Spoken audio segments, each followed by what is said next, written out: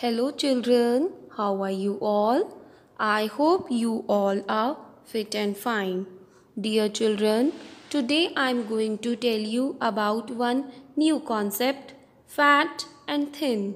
Fat and thin. Fat means motor.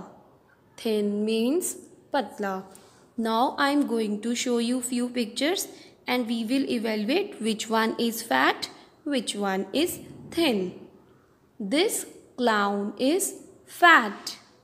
This clown is thin. This pencil is fat. This pencil is thin. This girl is fat. This girl is thin. This man is fat. This man is thin.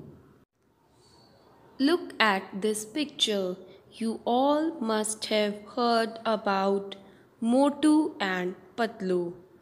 But do you ever think that why Motu is so fat?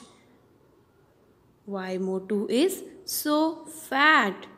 Motu is fat because he eats only junk food. Junk food like samosas, burger, pizzas and so on. He does not do any exercise in his life.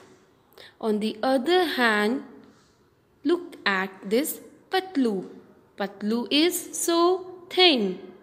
Patlu is so thin because he eats only healthy food. Healthy food such as green vegetables, fruits and dairy products like milk, curd, cheese, so on.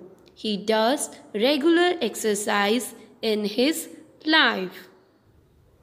I'm going to tell you story of Fat King and his thin dog thin dog. This is a fat king. This is a fat king. Fat king has thin dog. Fat king has thin dog. Fat king and his thin dog go for a walk. Go for a walk. Dog sees a bird. The dog sees a bird. The dog runs after the bird. The dog runs after the bird. The fat king runs after the dog. They run and run and run and run and run from many days the fat king finally catches the dog. now the fat king, the fat king is thin. Fat king is thin. Now you have to do page number 55 of your Fun with Maths book.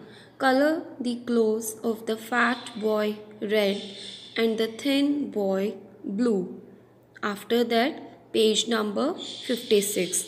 Color all the thin ones.